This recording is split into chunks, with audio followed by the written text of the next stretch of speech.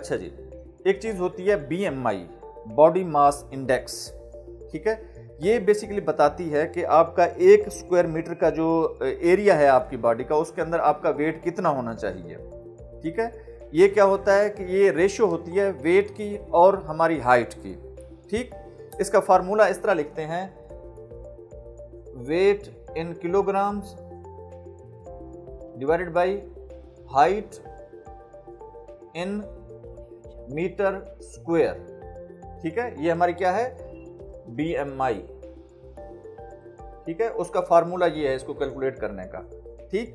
अब वेट हम किलोग्राम्स में लेते हैं। ठीक? ये मैं अगले लेक्चर में आपको बताऊँगा कि बीएमआई को कैसे कैलकुलेट करते हैं। उसका फार्मूला यही है। फिर मैं आपको बताऊँगा कि चूँकि हमें सारे, सबको पता होती है कि हमारी जो हाइट है वो फीट और इंचेस में पता होती है। तो मैं आपको बताऊँगा एक नॉर्मल बंदा कैसे कैलकुलेट कर सकता है अपनी बी एम बहरहाल ये डब्ल्यू की क्लासिफिकेशन है, जिसमें डब्ल्यू एच ओ के मुताबिक ये चीज़ें होनी चाहिए और हमारे एशिया पैसिफिक के मुताबिक ये वाली बी एम आई की रेशो हम इसको कंसिडर करते हैं।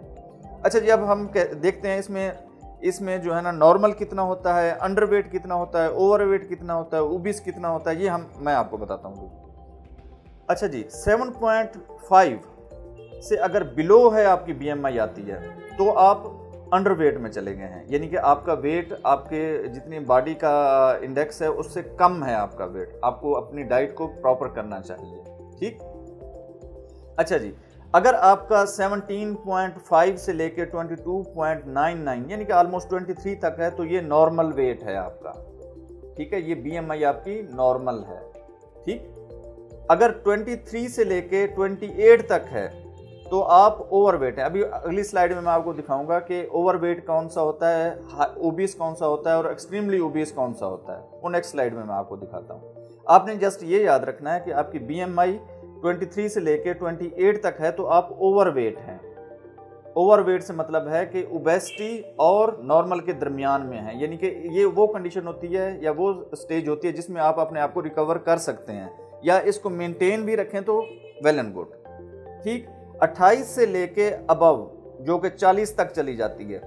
ठीक है? इसमें क्या होता है? ओबीस और एक्सट्रीमली ओबीस फिर हम इसको डिवाइड करते हैं। Class one obese class two obese class three obese वो जैसे जैसे फिर ऊपर बढ़ती जाती है बीएमआई हम उसको ऐसे डिवाइड करते जाते हैं। अच्छा जी। ये इस डायग्राम के मुताबिक आप अपने आप को कंसीडर करें कि आपका बॉडी मास इंडेक्स क्या है, या आपकी बॉडी कैसे नज़र आती है आपको। ये पहले वाले को देखें। ये क्या है? अंडरवेट है। ठीक? लेस देन 18 है इसकी बीएमआई ठीक?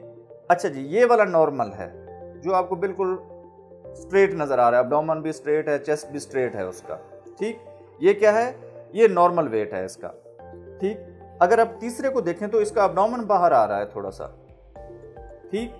ये हमारे पास क्या है? ओवर वेट है। यानी कि इसकी बीएमआई कितना है? 23 से लेके 27 तक। ठीक? ये ओवरवेट है। इसका देखें अपडोमन थोड़ा सा चेस्ट से बाहर आ रहा है। ठीक? इसी तरह आप अगर इसको देखें तो ये क्या है आपका? उबीस है। ये ओवरवेट था, ये ओबेसिटी की लाइन में स्टेज पे चला गया है। यानी कि 27 से लेकर 32 तक अगर उसकी बीएमआई आ रही है तो वो क्लास वन ओबीस है। इसको देखें।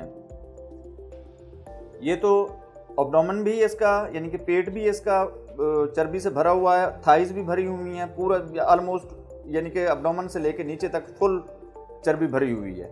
ये इसकी बीएमआई कितनी आई है? 32 से लेके 37 तक। और ये क्लास टू ओबीस है। ठीक? ये एक्सट्रीमली ओबीस है। मॉर्बिड ओबेसिटी जिसको कहते हैं। ठीक है? और ये मोर देन 37 है। 37 से अगर ओबेसिटी ज़्यादा बीएमआई ज़्यादा हो जाती है आपकी तो वो मॉर्बिड ओबेसिटी आ जाती है, ठीक? और ये क्लास थ्री ओबेसिटी है। तो आज का लेक्चर यहीं पे ख़त्म हुआ मैं नेक्स्ट लेक्चर में आपको बताऊँगा कि कैसे बीएमआई कैलकुलेट करते हैं। Thank you for watching and keep on subscribing Rahim Mubarak poly clinic channel thank you